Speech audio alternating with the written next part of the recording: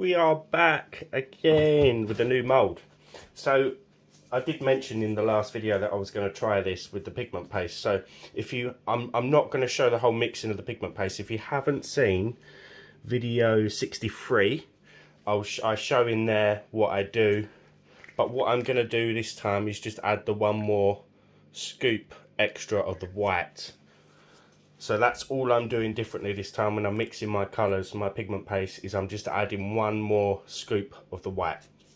Right, we're going to be using the collaboration resin alongside the Armour Art pigment pastes and I'm using again, same as video 63, the Resin-8 white pigment paste. Right, let's get mixing.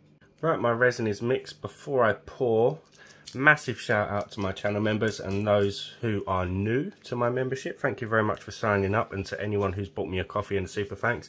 Now on my previous video where i made the um the alcohol ink versions with this mold i put the link in the description. But what happens after i'd posted it and several of you already purchased it the the company that was providing this mold changed the mold it's really cheeky to this mold and up the price to 30 something dollars which is really really bad. I've checked through my tracking and luckily nobody purchased that mold so I have updated the the link to this actual mold from a different supplier this time. So just make sure if you're clicking my links that the images match up with what you're seeing in front of you right now. I really don't want anybody ordering the wrong stuff. Okay, same as that previous video. 63, I think, if I remember. I've forgotten already. Um, I've mixed up my white base first, but I added, like I said, one more of the scoops of white. And I've just mixed up my three colours ready to go. So in this needle tip bottle here, in case you're wondering and you haven't seen that video, it is just 99.9% .9 isopropanol, which we'll mix in one at a time um, before we drop it into our molds. And what I'm going to do with these also is what I also did with my alcohol ink versions. And just back them once they're cured with, this was a white pigment paste mixed with resin and this was a black pigment paste mixed with resin. But I might skip that part out if you, if you haven't seen it. It's it's pretty simple to do. It's it's in the alcohol ink version before this one. So I have in here just a tiny amount of resin. It's not even covering the whole surface of the cavity, but I'm just going to use that as my tester because we know we need that kind of that ring, that ripple effect when we drop in our pigmented resin so we know it's ready to go I just didn't have quite enough for a proper tester piece. So again, I'm just adding that alcohol content until I get the consistency where it drops, but also spreads quite nicely and give us that, hopefully give us that ripple effect. I'm happy with that. So I'm just going to start dropping you don't have to be tidy, you can just flick them in, doesn't matter. It's art. can be as messy as you want with this.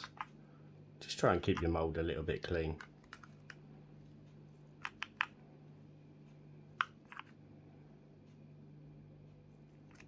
Which I'm not doing right now. Lock my focus.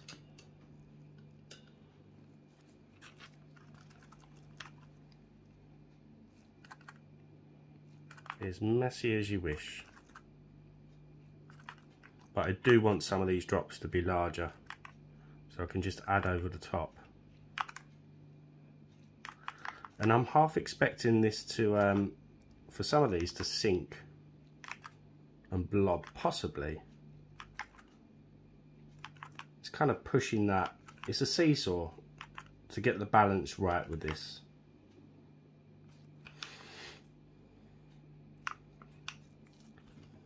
When I say the balance, I mean the balance between the, the resin viscosity, the alcohol,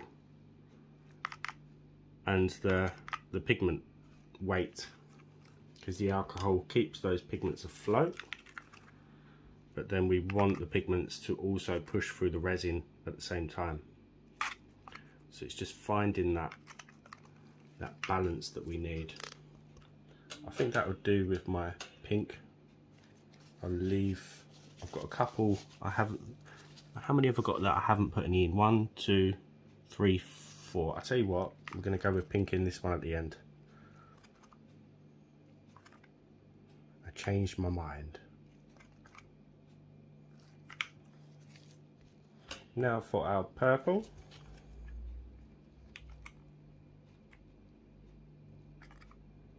And I want them to be quite large doesn't matter if you mix these together either.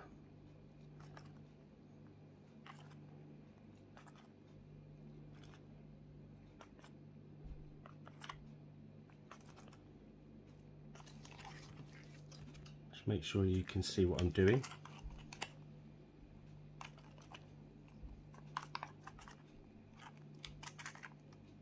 And again I want some negative space with these just so that those backgrounds can show.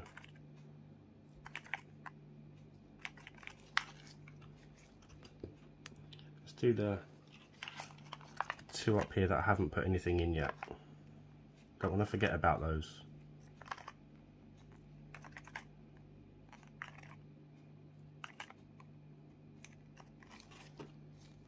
Sorry. Lock my focus again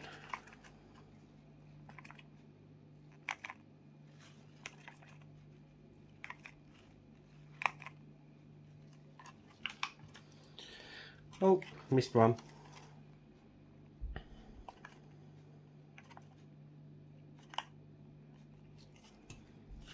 Right now for oh, our yellow oh. now I'm probably not going to add yellow to all of them. Because I do want some of that negative space.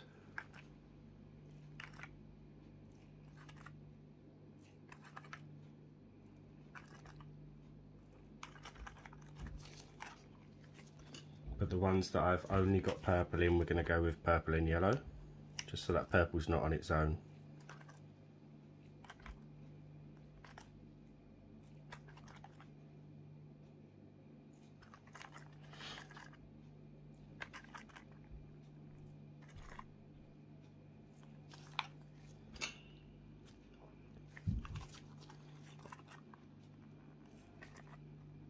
And whatever I've got left in my mixing cup goes into my skull mould so I'm not wasting any leftover resin. It's always handy to have that side mould for any leftover resin to go into. We'll go in this one here with a bit. Because why not? Okay. That is all of our colours in that yellow is just, you can see that rippling happening now. Some of it looks like it's sitting below the surface, but then some of it is actually doing what we want it to do. So we're going to be back shortly for the stir. Actually, what I'm going to do, so this design was originally created by Luna Designs, and she stirred hers in her video, she stirred hers straight away, and then come back and did a second stir. So on this one here, I will probably forget, but I'm going to do the two stars. So we're just going to mix everything up. I know I said about negative space, but one won't hurt. I just want to see what it looks like mixing these colours up now and then coming back to it. Be interesting to see. Right, I'll see you shortly. Okay. I'm not so sure we're going to be able to get a background on these. They've kind of spread quite a lot. this one I might be able to. We're just probably going to do it anyway. I don't know whether to wait for the resin to thicken up a little bit more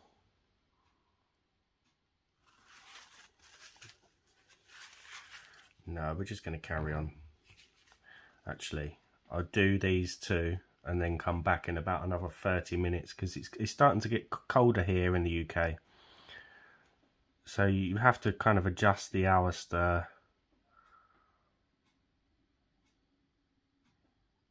It's stringy, but it's just not thick enough for my, my liking. So I'm going to come back in about 30 minutes.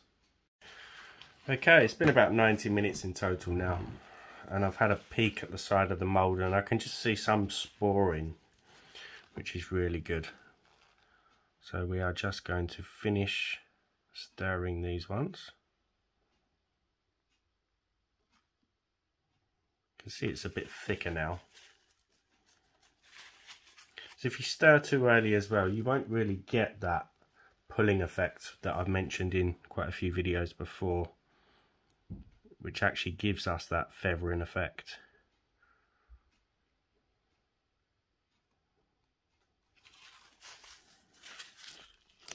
Now we're going to stir this one again.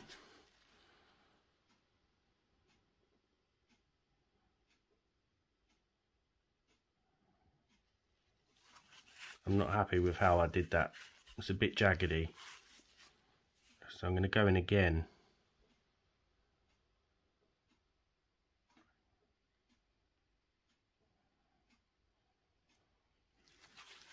Interesting to see how that one comes out. really wanted less coverage in these but it is what it is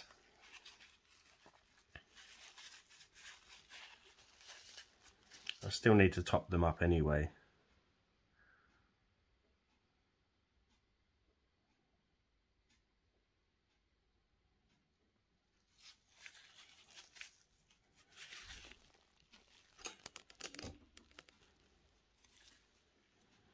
hopefully this time we'll have bigger spores than video 63 I can see them. Let me see if I can take you down a bit closer where I've just pulled that through. You can see the spores here which is good I really have tried this with the collaboration resin so many times now and each time I keep saying I need to add more white uh, hopefully I've got those those little spores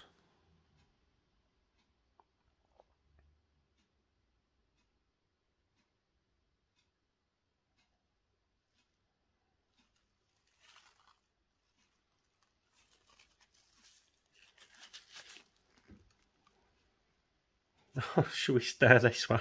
We might as well stare it. I've had instances where the test pieces have actually been the highlight of the whole video.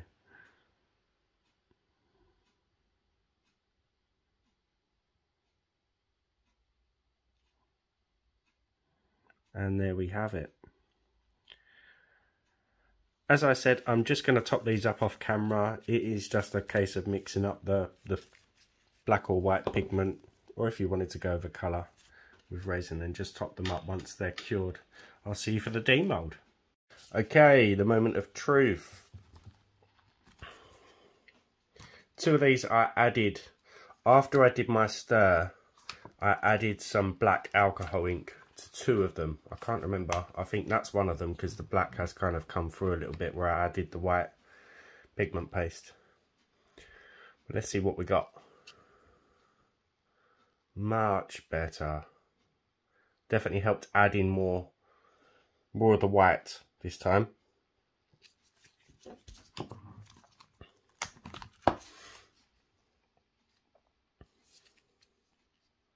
Wow. You can't really see the backing. But I still, like I said, I, I needed to top them up anyway. So there are a couple with some negative space. That is stunning.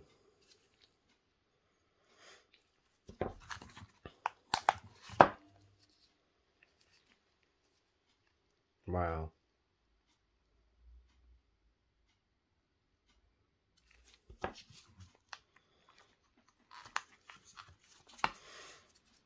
Mm-hmm. What do we got? You can just see a bit of the white up there, but I've definitely got much better spores.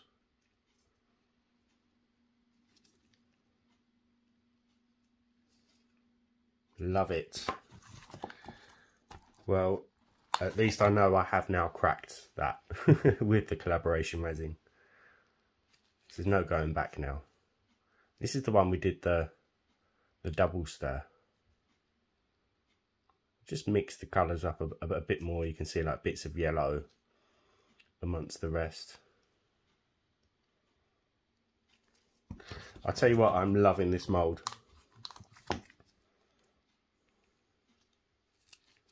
Ah, this is one that I added. So I added the black Arco ink after stirring and then I topped it up with the white. You could just see the black coming through.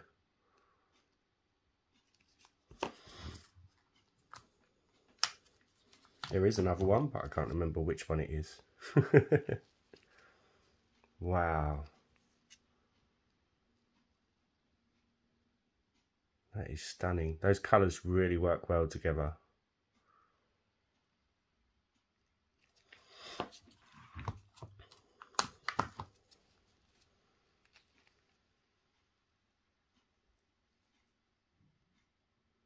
Really nice.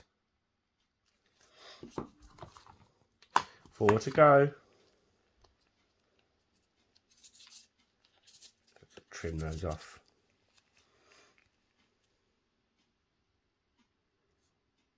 So much better adding that extra bit of white.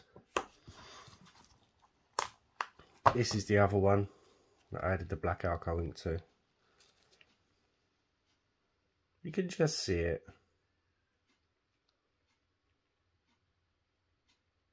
It's really, really nice. Two to go.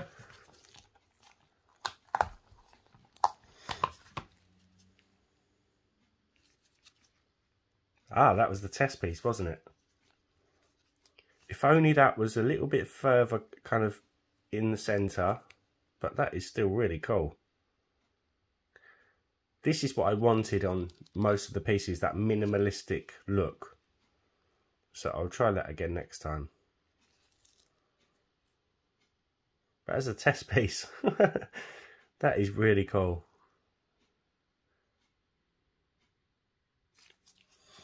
See that with a black background would really pop. Last one. What did we get? Wow.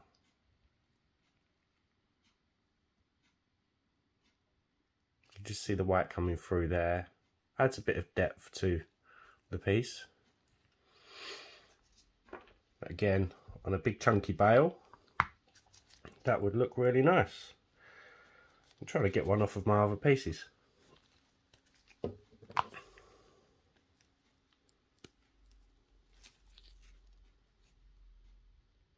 Super nice. Right guys, again, give the video a thumbs up, drop me a comment if you haven't subbed hit that button for me and I will see you for the next one. Bye for now.